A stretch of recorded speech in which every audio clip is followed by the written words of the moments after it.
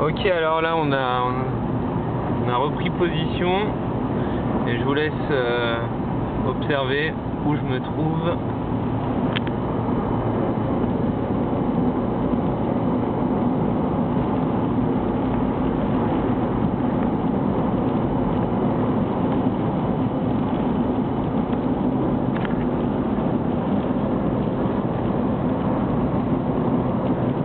Donc ça va être très intéressant.